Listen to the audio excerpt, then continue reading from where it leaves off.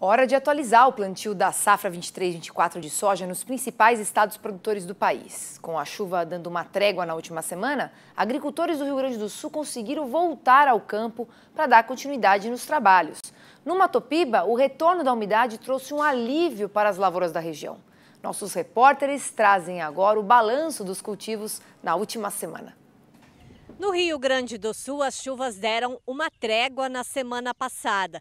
Com isso, produtores conseguiram entrar na lavoura e a área semeada dobrou, chegando a 50%. Mesmo assim, a semeadura é considerada atrasada, já que no mesmo período do ano passado, 70% da área estava plantada. Conforme o boletim de acompanhamento da Emater, os trabalhos foram intensos a campo, mas esse atraso traz germinação desigual, o que pode comprometer a produtividade. Em algumas regiões ocorreram doenças de solo, como o dumping off, que é o tombamento e morte das mudas por apodrecimento, e isso vai demandar replantio. Na região noroeste, em grandes cidades produtoras como Ijuí e Frederico Westphalen, a semeadura evoluiu bem e já passa dos 70%. O Rio Grande do Sul também retomou as atividades de monitoramento da ferrugem asiática, a doença mais grave da cultura.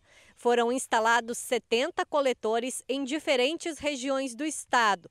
O ano mais úmido é propício à doença porque aqui dentro vai uma lâmina, essa lâmina então ela consegue captar os esporos da ferrugem porque eles vêm com o vento. E aí semanalmente a gente envia para o laboratório que lá eles vão fazer a contagem dos esporos.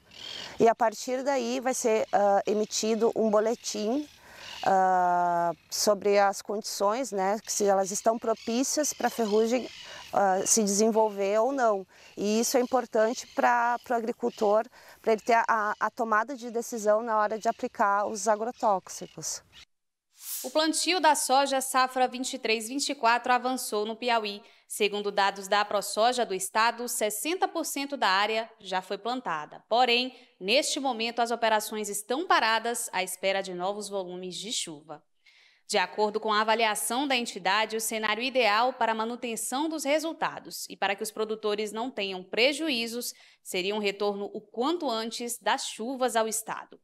O Piauí tem 1 milhão e 72 mil hectares de soja previstos para a temporada. Já aqui no oeste da Bahia, o avanço foi um pouco maior, mesmo com a restrição hídrica nos últimos dias. Dos 2 milhões de hectares previstos para a safra, aproximadamente 75% já está plantado.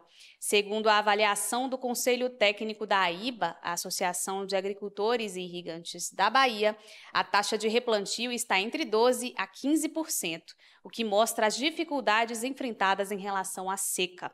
Apesar de não terem sido registradas maiores perdas no campo até agora, a má distribuição das chuvas tem deixado algumas áreas mais vulneráveis. Falta pouco para que o plantio da soja finalmente seja concluído aqui em Mato Grosso. Segundo o acompanhamento feito pelo IMEA, até aqui 99,57% da área de 12 milhões e 200 mil hectares previstos para esta safra foram cultivados. Vale lembrar que nesta mesma época do ano passado, os trabalhos já estavam concluídos. Apesar de os trabalhos estarem na reta final agora, apenas duas regiões já terminaram o plantio: Médio Norte e Norte.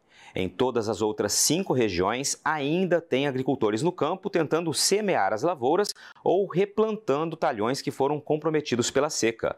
Recentemente, aliás, o IMEA estimou em pouco mais de 4% a área com necessidade de replantio aqui no estado, o equivalente a algo em torno de 500 mil hectares. Número que tende a ser atualizado. Vamos então resumir como está o andamento da safra de soja aqui no nosso telão. Olha só. Mato Grosso, quase finalizando aqui com 99,57% das áreas instaladas, Piauí, 60%, Bahia, 75%, Goiás com variação de 85% a 90%, Paraná, 84%, um dos únicos estados que conseguiu aí, tá mais ou menos na, no andamento do que seria o ano passado, 50% no Rio Grande do Sul, que teve diversos problemas por conta aí do excesso de chuva.